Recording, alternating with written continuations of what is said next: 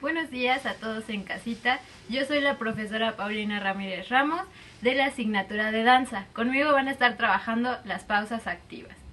La pausa activa del día de hoy tiene que ver con bailes y danzas de México. Así que veremos el descanso básico del estado de Yucatán con la canción Almudes. Comenzaremos por explicar cómo se van a mover tus pies. Comenzaremos por explicar la parte de los pies. ¿Tu pie qué va a hacer? Va a haber una elevación y una ligera flexión en la rodilla. Y cambiamos. Uno, dos, tres, cuatro. La parte de arriba. Tus brazos se van a ir en un ángulo de 90 grados. ¿Vale? Y ahí se van a mantener. Los deditos son como si fueras a chasquear.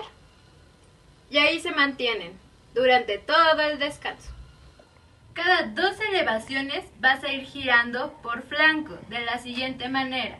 Empezamos girando hacia la derecha y queda 1, 2, 3, 4, 5, 6, 7 y se va de regreso. 1, 2, 3, 4, 5, 6, 7 y 8. Ahora lo haremos con música.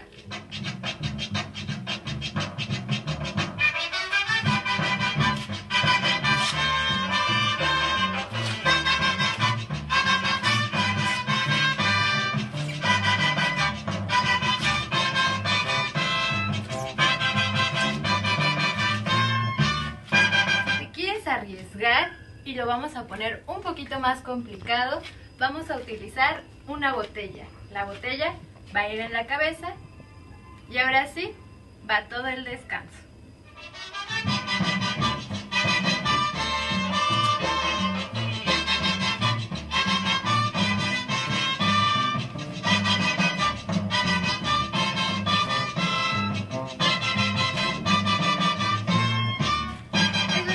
Por el día de hoy. Espero que te haya gustado. Esperamos tu video y nos vemos la próxima.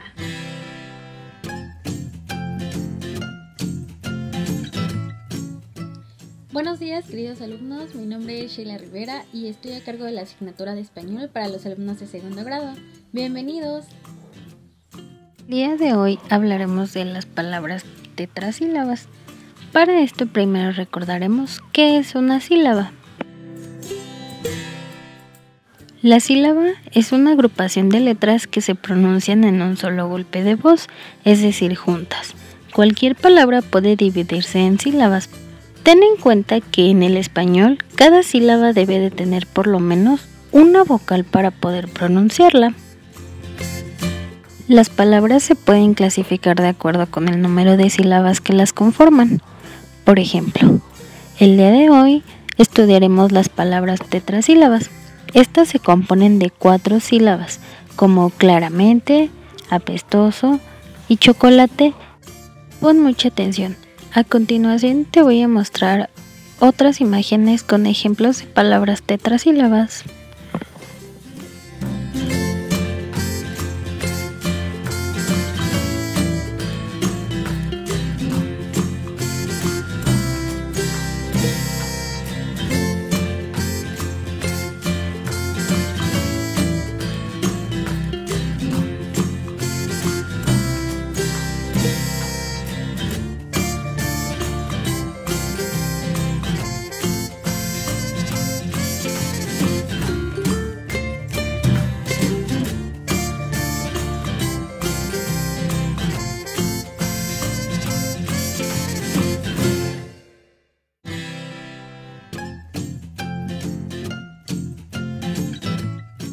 Por otra parte, las canciones infantiles también favorecen tu aprendizaje, pues te ayudan a aumentar tu vocabulario, es decir, que conozcas más palabras. ¿Y tú? ¿Conoces alguna canción infantil que contenga palabras tetrasílabas?